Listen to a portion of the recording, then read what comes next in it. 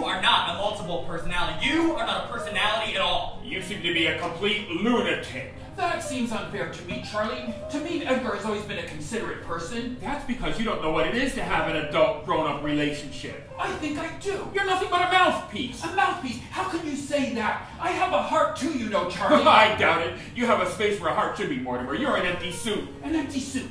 A, a, a, a blockhead. A blockhead. A stiff.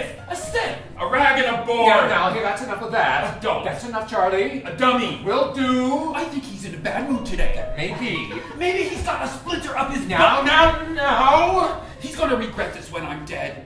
You're not going to die, Mortimer. After a person dies, you live a life of regret, thinking of all the chances you missed and all the love that you treated not so well, and then you feel stupid. I feel stupid already.